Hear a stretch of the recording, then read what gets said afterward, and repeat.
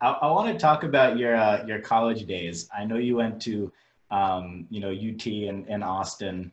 Uh, I'm actually I'm a huge fan of Austin. I'm actually going back to Austin to spend another month there next week. Nice. Um, what what what about you know that school made you decide to want to go there back then? Bro, I loved it, man. I actually just recently bought a house out there, and like it's just it's home for me now.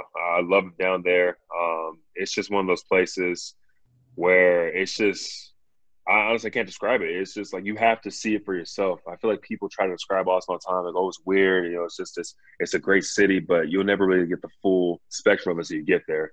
I think what really did it for me was the city. You know, I went on my visit, and I had never really been to Austin before. I kind of just like driven through, but you know, they had a really good team the year prior to me going there, and I think that you know, adding me into it, we would have, you know, uh, we could have like had opportunity to, to get even better.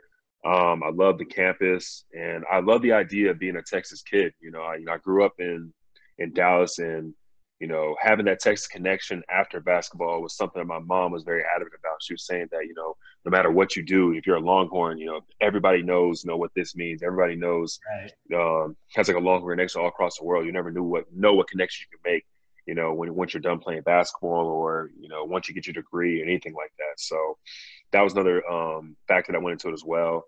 And I think once I got there, man, I just fell in love with it. You know, it was just um, one of those things where I just, once you know, you know.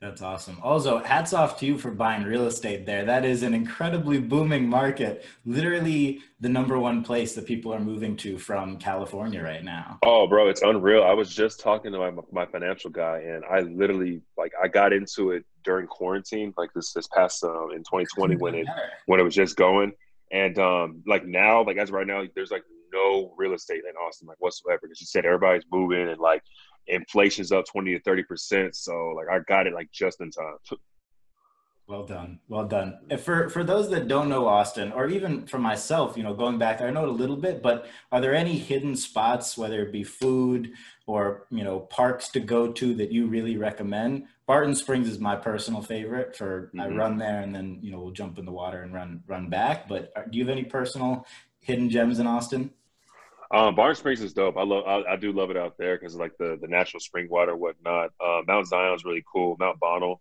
Um, I love love going outdoors and hiking and whatnot. So I actually live in a in a city called Lakeway. Lakeway is like right on Lake Travis, so there's a lot of like little like uh, cliff diving spots, stuff like that out there.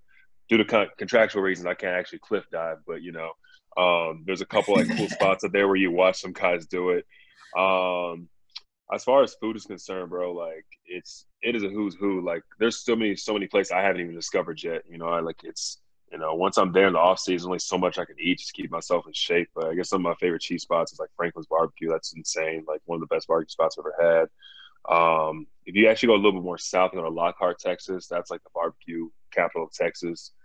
Um, and as far as just just just being in the city, bro, like just there's so much you can fine, bro. Just like being downtown, just going onto the outskirts. And, you know, it's just a, like I said, a who's who.